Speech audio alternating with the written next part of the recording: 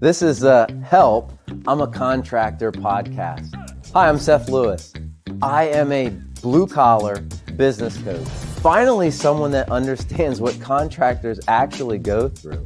My goal and vision is to connect business owners with knowledge while tackling some of the industry's toughest challenges. Please subscribe to my content and let's support each other to create awareness for our industry. Check out what I have going on at www.bluecollarbusinesscoach.net. Check out my book that has helped business owners across the country change their business and their life. But for now, it's time for the show.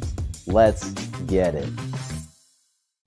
Today on the show, I'm so excited. I have Steve Buettner of East Coast Floor Store, and it's going to be a great episode. We're going to talk about what it's like to be bold in business, to start a business, to have a savings, to use it all and go out on a limb. It's going to be a great one. And really understanding how to do this, how to grow a business. And there's no better person to talk about this today than Steve. So, Steve, welcome to the show. Yeah, man. Thanks for having me, Seth. It's great to have you on. Um, tell me what you've been up to lately. Any any cool things? Any anything interesting that uh, you got going on in your world outside of work? I mean, that's a that's a uh, you know crazy one. But what what do you got going on? What's new? I mean, right now it's mostly work. So for fun, you know, I fly airplanes and things like that. But for the last last six months, it's been like, you know, nose to the grindstone, just getting it done. We'll uh we'll have fun later. So um, you know, we've got we've got kids and all that stuff. And we try to make sure we we have time for the family and everything. But we're working hard, so you know. But nice weather's here. We'll uh, we'll get out there and enjoy it a little bit. Awesome. So tell me a little bit about where you're located, uh, just a little bit about your business today, and then we'll kind of go back and say, okay, how to get started, and you know the journey from there. You have a pretty interesting story. Yeah, sounds good. So, uh, my wife and I own East Coast Floor Store, um, which is in Hanover, Pennsylvania. Uh, we we sell obviously primarily flooring, um, carpet, luxury vinyl plank, uh, hardwood, tile, a little bit of other stuff, you know, stack stone and and different things like that. But we're we look like a traditional floor store. We have a showroom. We've got a warehouse in the back, um, and uh, and so that's the business. We sell to a lot of um, residential customers that just come in, uh, whether they need the flooring installed or whether they're just going to uh, do the installation themselves. A lot of DIYers out there.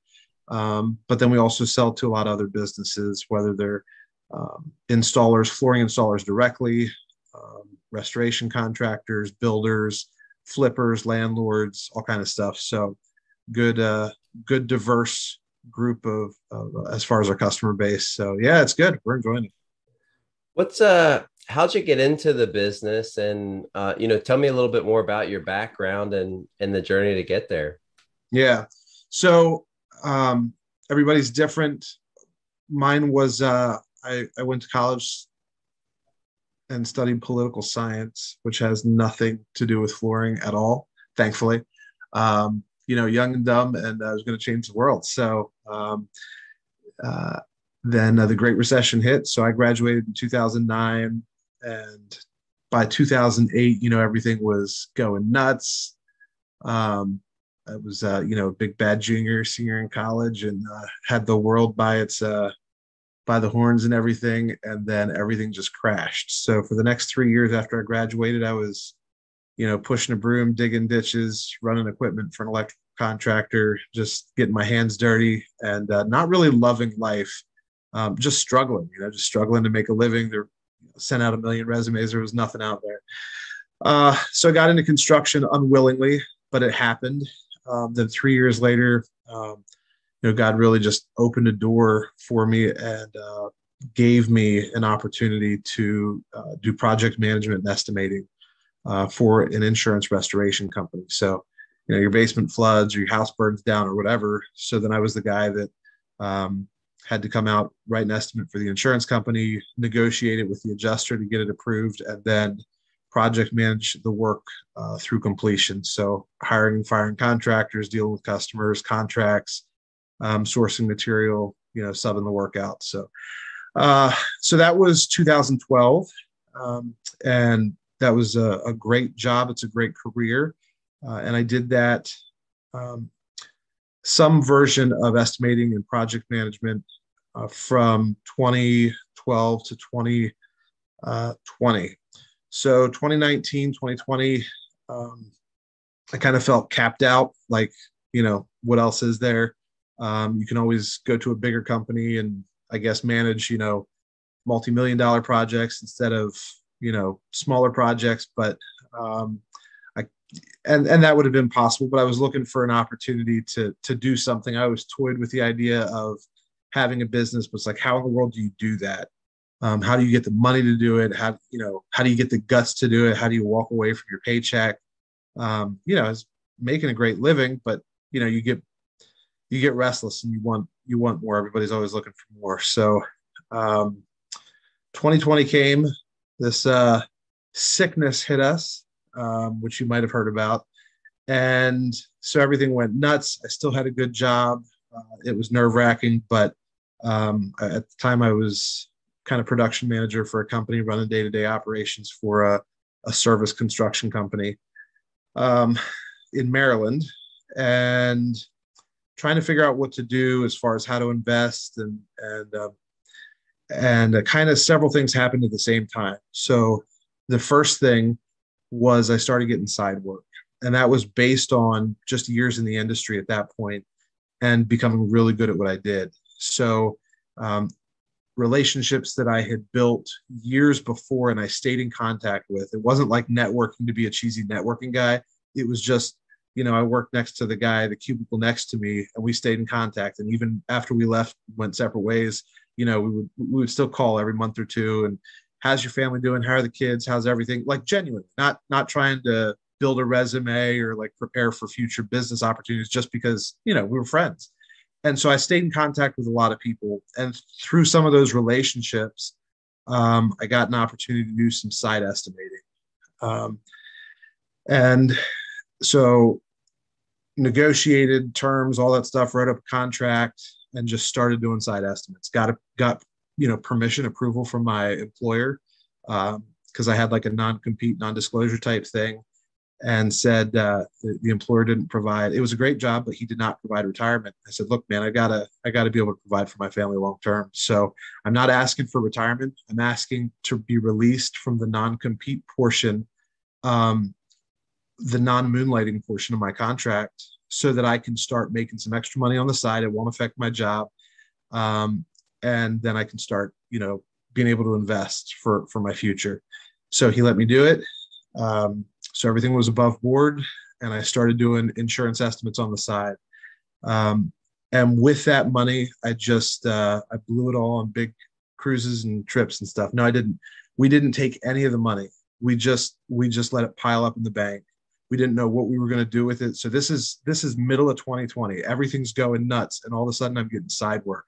So while everybody else is having a hard time like i'm greatly blessed. But at the same time i'm not trying to go blow it. For one thing i couldn't go on a cruise because couldn't go on cruises. Um, but that's what was going on. So now i'm getting money. It's like middle of middle of 2020 just getting into the side estimating. It's like well what am i going to do with the money um, do I put it in the stock market? Whatever. You know, obviously that was crazy, but it looked like there was a lot of potential. Um, so right around the same time, um, I had a conversation with my brother-in-law. Well, rewind to college, and my brother-in-law at the time in college was my roommate.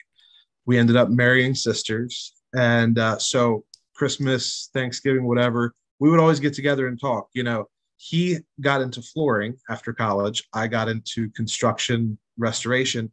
And so we were always feeling each other out because I was always hiring flooring guys and he's always trying to get restoration work as a flooring guy. So we're trying to figure out how the markets work and all that stuff. So we would always talk business. He started out as an installer, then he got like a little he rented a space and started selling product as well and then he ended up building a floor store. So by middle of 2020, he had this really very successful floor store, had this beautiful showroom. Everything was great. He's one of those guys that everything he touched turns to gold. Um, but to be fair to him, he works his tail off to get there. Um, so we're talking um, middle of 2020, like, you know, what do I do? And he's like, look, you've always talked about starting a business. He said, with with COVID, he said our business has changed entirely. He said no one will come into our showroom anymore. So we had to on the dime pivot. This is literally middle of 2020. He's already telling me what they had to do. We've had to pivot. He said, we're listing stuff online on, on Craigslist and Marketplace as far as DIY flooring people are willing to come buy it themselves to install it in their house, but they're not willing to come to the showroom. So they'll come pick it up out of the back of our warehouse, but won't walk through the front door. He's like, you could sell it out of your garage. So long story short, we're like, how are we going to do that?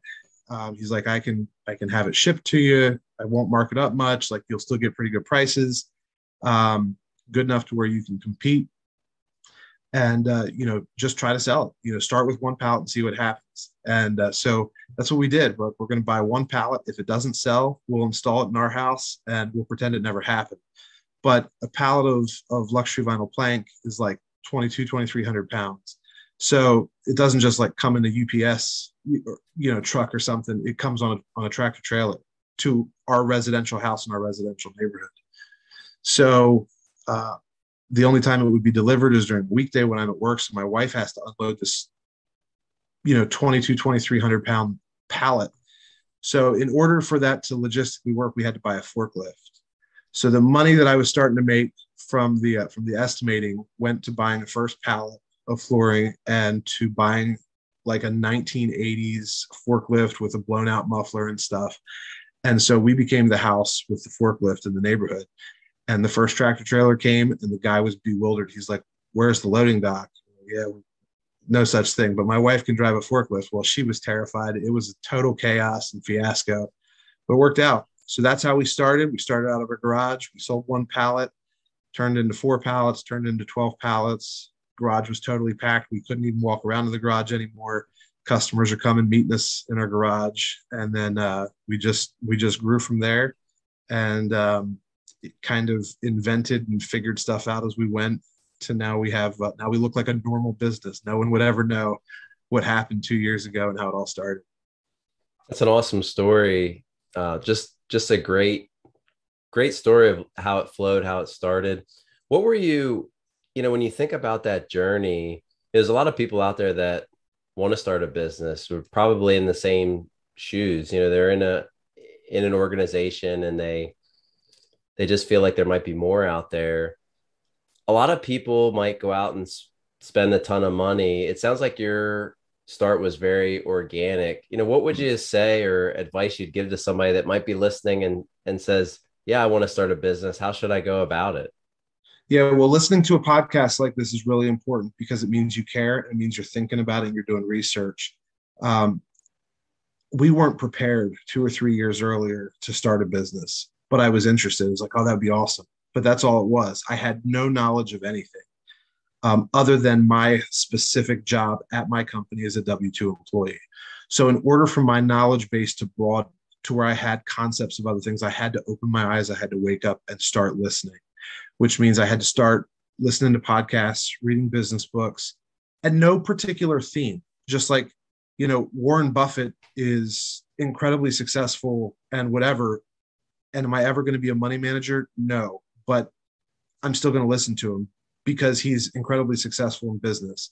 So all of these different podcasts, and there's ton of them, you know, a ton of them, you interviews, just YouTube interviews of business guys, guys giving lectures at colleges. You know, when Mark Cuban gets invited to come talk to the to the MBAs at Harvard and Yale, like look those videos up and, and listen to what he has to say.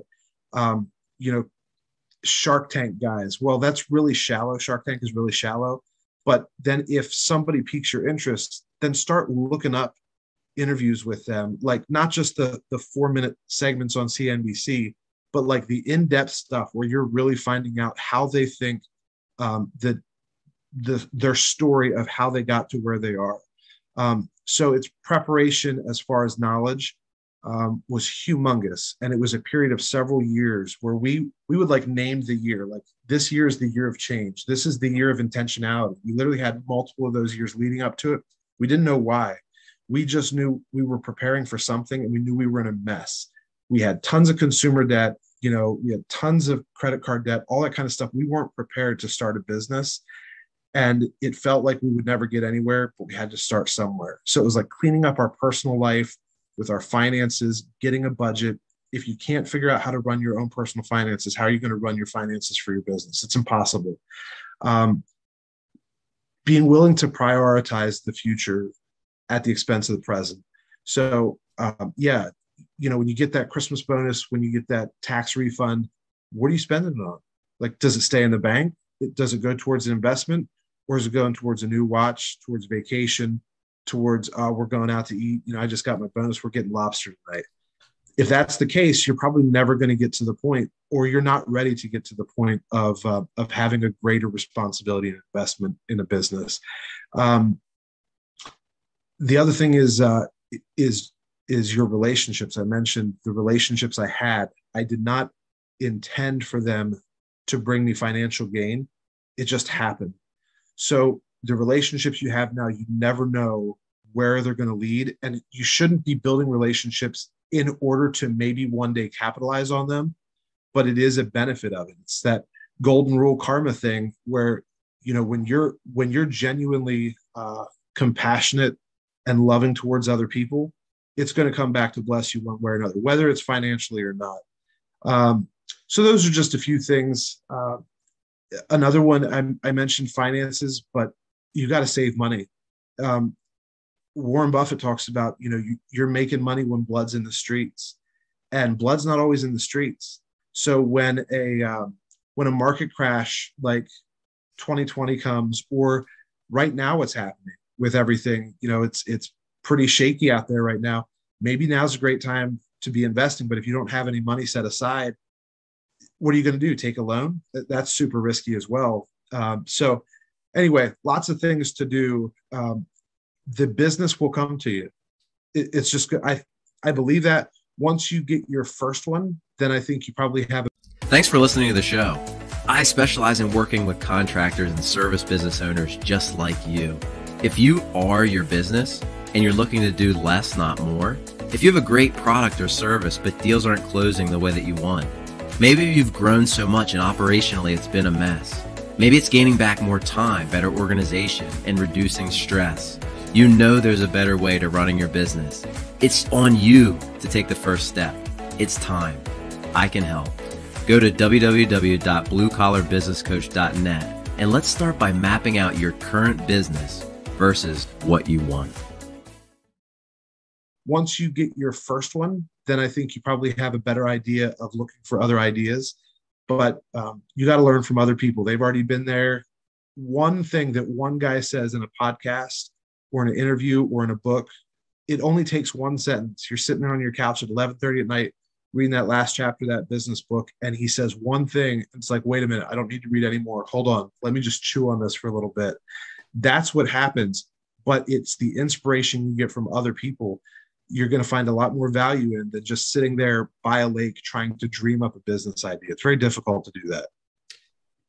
Was there anything that in that journey, I love how you laid that out of getting your personal life in order, then taking it to a business because it's so true. You can't run it if if your personal life is a disaster, that's just going to translate and you're going to multiply your own issues, challenges, problems was there anything that really stood out or a couple things that stood out as you were on that journey of of learning that you felt really helped you? Um, I already talked about some of them um, one thing that was a massive advantage we're always looking for the advantage right? What's my competitive advantage?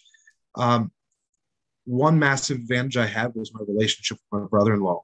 He already had a floor store like he had already invented the wheel. He he had worked at other florist stores before he started his. He was an installer. He knew every part of the business. Uh, so i was literally in five minutes able to get questions answered that would have taken me six months a year three years to figure out. Um, so having the person to go to uh, that can legitimately give you good advice not that you take everything they do like his business model and ours separated very quickly. We went towards out the door retail um, or out the door sales. So heavy inventory, all that kind of stuff. Whereas he stayed more towards install because that's what he was good at. He knew the install side. Um, so it didn't take long where we where we split, but there were still things I was able to learn from him that were extremely valuable.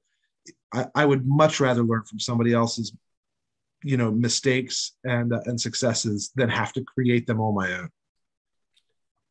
What would you say when you look at that that journey? Some other you know steps. So the the financial thing is obviously key. Um, you know, if you're talking to somebody that's thinking about this, because I think that's where somebody might be. They're you know they're in the commercial space or they're working their W two employee, and it's just a matter of how do you do this. So you know the the one step that I heard was research, study, Second thing that I heard was get your finances in order. Is there any particular way or resources that you found that helped, or did one day you just said we're going to be intentional? And you know, where did that come from? How does somebody be intentional? Does that just might sound like an easy, simple question, but there's one thing yeah. from thinking about it to actually doing it. So, is there anything that helped you there? Well, um, I th- I think it is a decision, but sometimes decisions are made easier by circumstances. So the decision is to live broke, right? That's what that's what some of these guys say is you have to live broke. Grant Cardone and whoever it is, whether you like him or not, there's still things you can gain from him. So uh, the concept is make yourself de- make yourself desperate, or make yourself have the feeling of desperation because then you'll be required to be creative. Um, so we were desperate because we couldn't pay our credit card bills right? It started years before, and we were frustrated. We kept doing the same stupid things, and we would go on trips, um, this awesome summer vacation, and we would come back, and two months later, we're literally trying to stagger our bill payments to figure out how we can keep from totally imploding financially. And the stress and the arguments in our family and all that kind of stuff. We were desperate. We were frustrated. We were sick of it.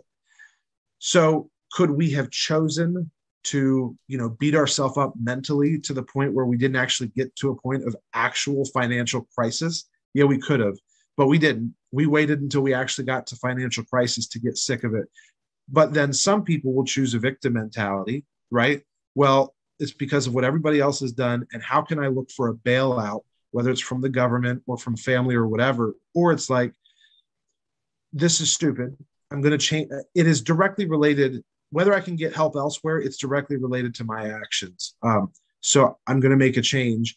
And then that begins the process. Once you've, um, as a Christian, it's called repentance, it's a change of mind, right? But in business or whatever, you don't have to be a Christian. It's literally changing your mind. And then your life will follow your actions. So if you've changed your mind on how your actions are regarding finances, regarding, um, you know, do you wake up at a certain time regarding do you follow a schedule? Do you have a calendar?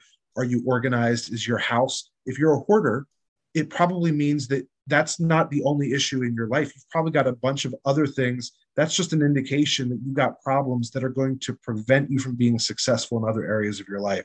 So look at your house. Is it a total disaster? Is your garage always a wreck? Um, that doesn't in that in and of itself mean that you're not going to be successful but it's like am I living a life of excellence? If I'm not, why would I expect to get a responsibility to get a position of excellence, either running a company as a fabulously paid CEO or as an owner myself? Why would I expect to get to that position if I'm not going to be excellent with what I have right now? Yeah, I love that. I mean, it's so it's so key. A couple things that I really like that you said there was one, identifying other areas of, of, I call them symptoms. So symptoms are areas that are showing up that are a sign of a root issue. You know, issue might sound like strong to some people, but there's something else going on that yeah, if, if this is happening over here, there's something that we could address, which is a good sign of how you get that that fixed. Um, just just really great stuff in the sense of, you know, just being a great leader, what the steps that it takes to be be a leader and, and have a business. So I really, really love that. Um, the other thing is, you know, the getting sick of it. When that happens, when you finally said, I've had enough and I'm done, change happens. Mm-hmm. When you did that, I'd like you to take me on the journey of your business. So you had this I'm sick of it moment. Take me on the journey from when that happened to where you are today? Because I know there was, you know, rapid growth, rapid changes, but you had that moment. And I want to highlight that in the in the show today is if you're not there yet, a lot of times people are close. And I talk to a lot of people and work with a lot of people, and they it's unfortunate that sometimes people have to get to that point and you can see it as a coach or an advisor you can see it a million miles away that they just need it but they haven't had that breaking point yeah. so i guess two things. One obviously i want to hear the journey but what advice could you give to somebody that they're they're struggling but it just hasn't been bad enough for mm-hmm. them to to get to the breaking point? How can they recognize it so they don't have to go through more misery yeah. and commit it? Yeah i mean it's um it's a really simple answer and i might be wrong on it but i really think it comes down to choice to personal choice. So again you can choose based on just sheer character and determination which is really difficult. Most of the time we make the choice based on being prodded by circumstance as i mentioned. So with me i, I was not the former i was the latter right? I, I wasn't smart enough to make the decision myself without a whole bunch of encouragement. The encouragement i got started in 2017. I, uh, I resigned my job from the, the company I worked for, for for five years. That was that first project management estimating job. Fantastic job. Um, I was frustrated about some things, whatever, but I left on good terms. I gave you know a month's notice when I left. Everything was good, and uh, and I started flipping houses for a for a flipper, a really big company that flipped a lot of houses, like 200 houses a year. Um, and that was extremely interesting. A year later, I got laid off. Probably I deserved to be laid off. Not that I was a bad employee, not that I did anything wrong, um, but I wasn't. I wasn't what I could have been. I know I wasn't, and I've told people that I've hired since then. I tell them my story. I say, "Look, I was a W two employee. I was not the employee I should have been. I wasn't driven. I wasn't aggressive. I got, you know, I was more interested in what does my office look like than what value am I providing to the company? I was driven as an employee, not I did not have the owner mindset, which the owner mindset is is the decision that I'm making now, is the action I'm going to take or the purchase that I'm, you know, what the item I'm going to pay for, is that going to increase sales for the company? Is it going to increase um, you know, the overall benefit of the company, whether it's directly sales or if it's, you know, future sales through um, you know, customer, whatever. I wasn't focused on that. I was focused on the comfort of the job. And, um, you know, my family's most important and the job comes second. Okay, that's true. But we can also use that as an excuse to not give it our best um, when we're when we are on the clock when we are working. So I got laid off. That was the first time I ever lost a job in my life. Um, and I was royally incensed by it um, and was convinced that they were totally wrong. Um, and whatever. It was laid off. It wasn't fired. So I got another job, and that job was not a great job. Um, it was project management estimating. It was a miserable company to work for. I thoroughly hated it. Looking back now, I still can't can't stand that time. And after six months, I got fired. So in a period of six months, I got laid off, and then I got fired. I never got laid off or fired from anything in my life. Um, I got fired without cause, and um, I think it was unjust. However, again, maybe I deserved part of it. Maybe it was because I was miserable and maybe that showed. You know, at the time I I could justify everything.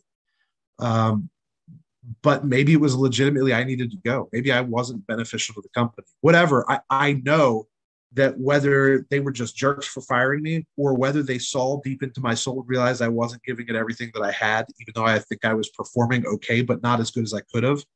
Um, it was a, it was like slap in the face. And then when you get fired or when you get laid off, now your finances become even more important. What do you have in the bank? So when I got fired, I didn't have a job for two months. I drove Lyft and Uber it was utterly humiliating. I'm dropping people off at McDonald's and I can't afford to buy a hamburger myself. I've got three or four kids to support and a wife and a massive mortgage and all this stuff. And I'm driving Lyft and Uber, which didn't even make sense. It would it, it cost me more than it. I should have just stayed home, but I wanted to get out and work, and I didn't do the math. Um, it, I was a total disaster.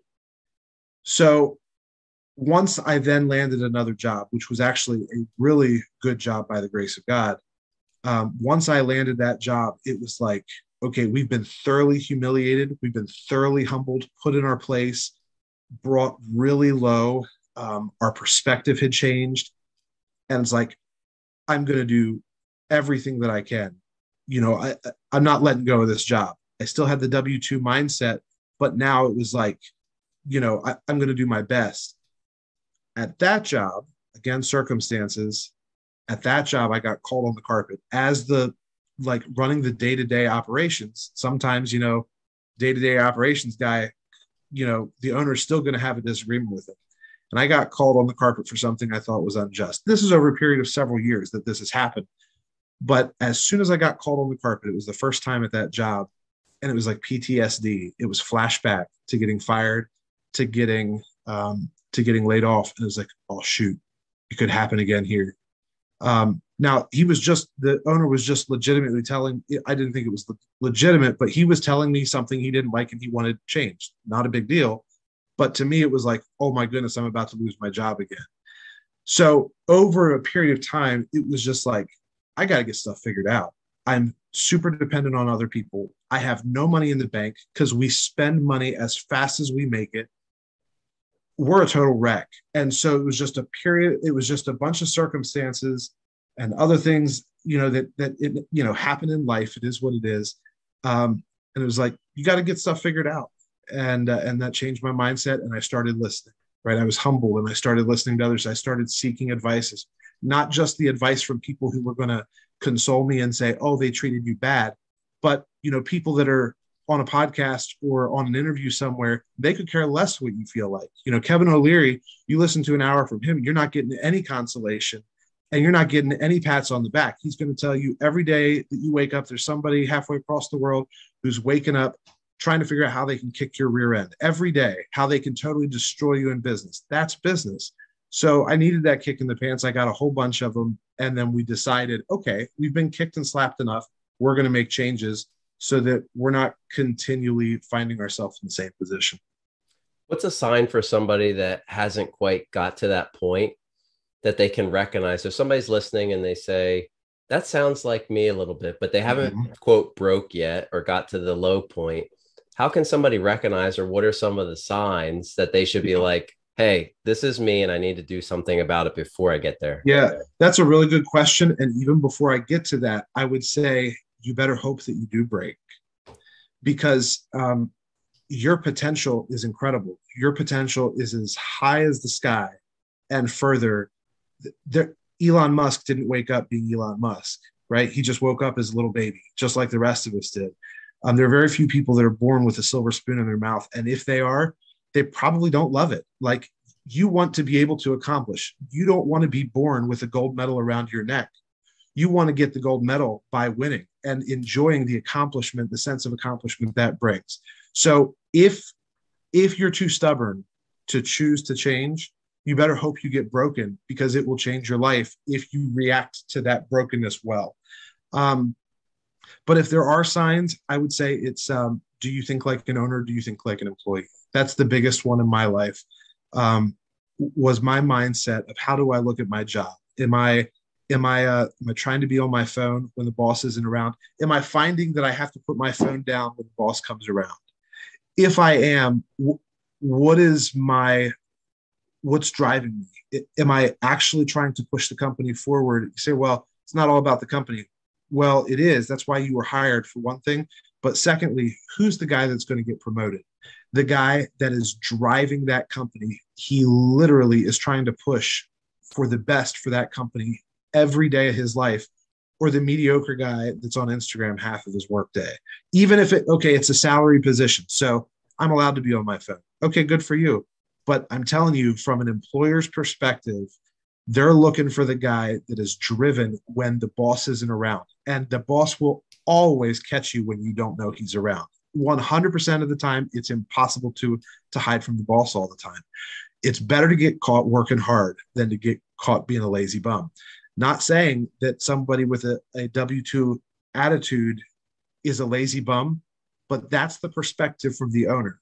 So let's say your ultimate goal is to start a business it's going to be easier to start a business from a position of ceo coo chief whoever guy at the company making a whole lot more money where you have more capital to save to then start your business with than to be the guy that never gets promoted and never goes anywhere. It's just going to be easier. Yeah i love i love that about you know getting caught on your phone or working because it's it's so true. Any leader knows exactly who those people are and it's you think you're hiding it but it's just so it's so silly. It's actually comical when you go around come out to a job and the person's like oh and then they try to fake it or there's a group that's standing there just talking. It's the same people and then all of a sudden they scatter. But then there's yeah. there's people and i can think of over the years that you know you any job that you go to any place you arrive they're always working when you show up. And those are the people that do well. Those are the people that grow. Those are the people that get the rewards. And if you're not, yeah, then it's probably time to move companies or find somebody that appreciates you. Dave Ramsey is uh, is one of those polarizing guys, kind of like Grant Cardone. Either you love him or you hate him. But again, have the maturity to be willing to take the good and spit out the bad if you think there's good or bad. Um, but he talks about in his book EntreLeadership, he talks about hiring stallions or I'm sorry, thoroughbreds versus donkeys. And um, he, like the donkey's not, they're not fooling anyone by trying to act like, trying to walk like a thoroughbred. You still know they're a donkey. And that sounds like a really rude thing to say. But his point is either either you are a go-getter or you're not. It's it's very hard to be halfway in between and i know that was that was me. It was a change. It wasn't like this gradual shift this gradual evolution of i became better and better and more motivated. It wasn't. It was like i continually stayed as a donkey for a long time until i made the decision. Thank god we have the ability to change. A donkey can't actually change its dna we can.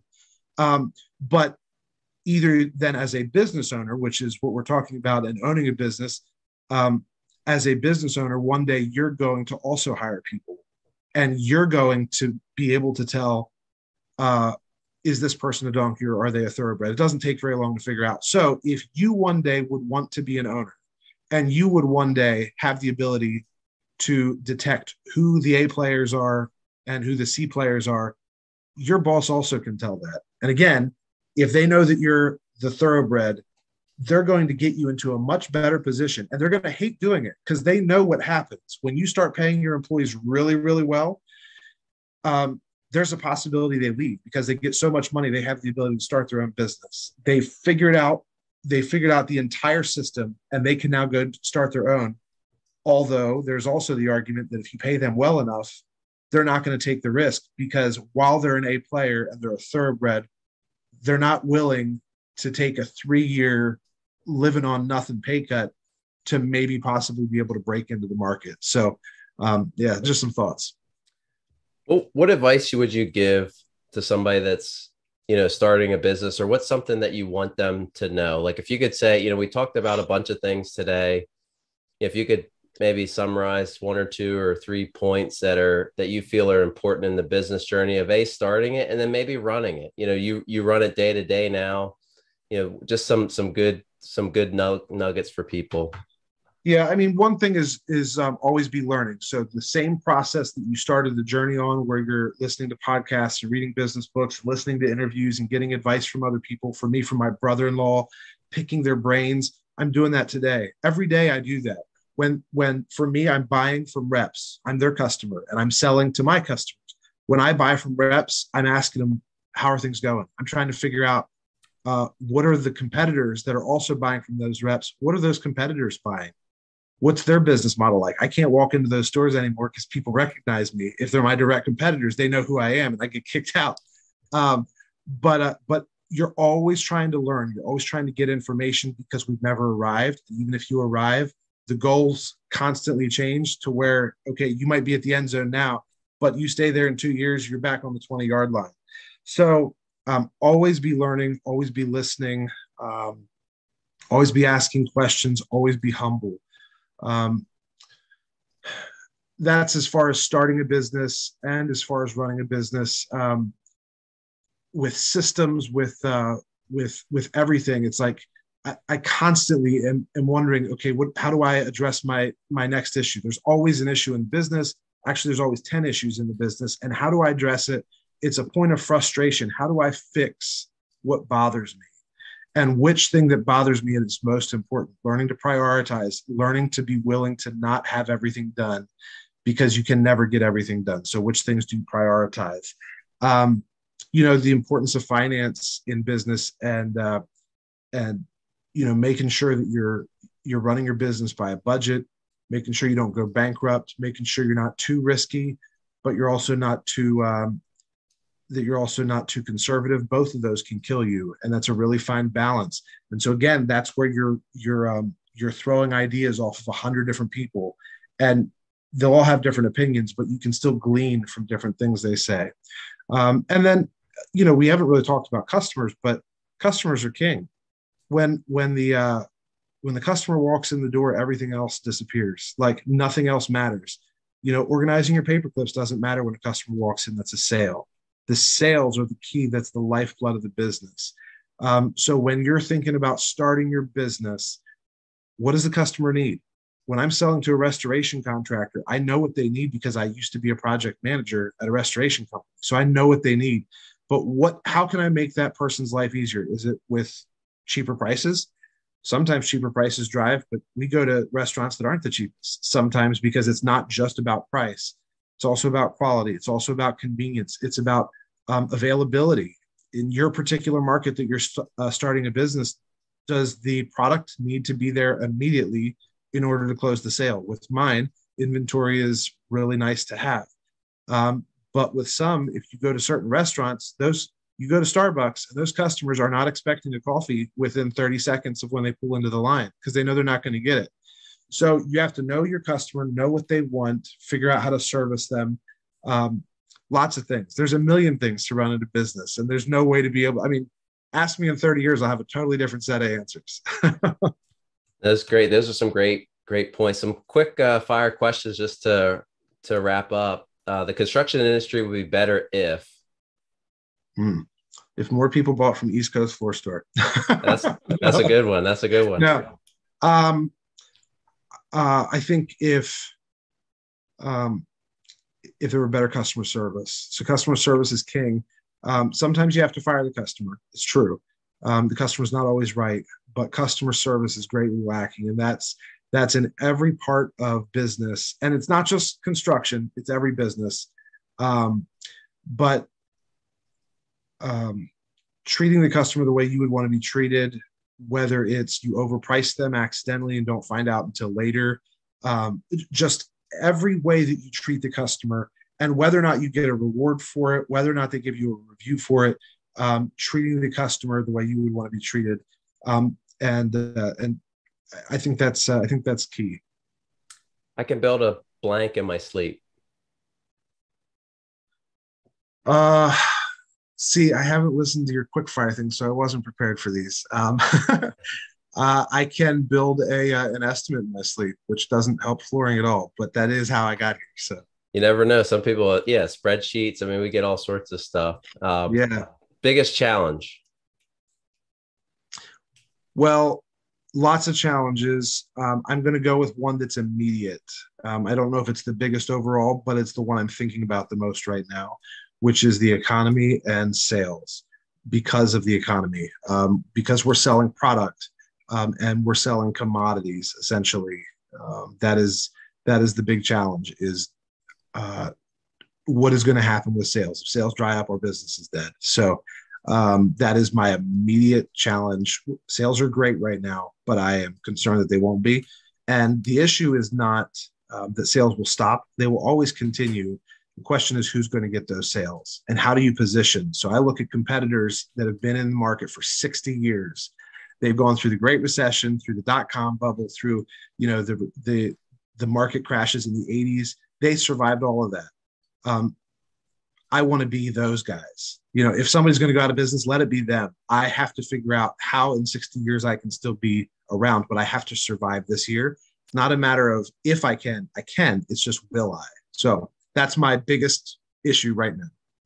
Biggest skill. Uh, Um, I hate these questions. um, I think uh, I think sales and negotiation. Cabin or beach house? Ooh, um, beach house. Favorite Maybe. brand of equipment? um, these are brutal. Uh, I'm just gonna I'm I'm gonna go with uh, Clark um, for uh, forklifts. That's we bought a like this 1980s you know forklift, and that thing is a monster. It's and I don't think it's ever had I don't think it's ever had an oil change, and it's still it's, it's still going. Yeah. Lastly, you know, I want other business owners in construction or trades or whatever to know this. What is it? Well, I want them to know about East Coast Floor Store. So the thing that they need to know is that we have massive inventory in stock. We stock more than Home Depot or Lowe's, and we have better prices than even the big box stores. But we're a regular floor store in that we have top quality flooring products, unlike some of the big box stores. So they need to look us up. If they're in like a two hour radius, we have customers drive from New York, West Virginia, Northern Virginia, Delaware, all over because of our prices and our inventory and quality. So that's what I want them to know. And where can they find the information? East Coast Floor Store is a good one. Uh, to at eastcoastfloorstore.com is the website. They can follow us on Facebook, East Coast Floor Store. They can call me direct, 717-640-1876. If, if they're a customer, I'd love to talk to them. Really appreciate your insights today and being on the show. Great insights for somebody that's looking to start a business, go on the journey, and people that are already on the journey. So thanks again for being on the show. Yeah, thanks for having me, Seth. Thanks for listening. Like and share with other contractors. Start studying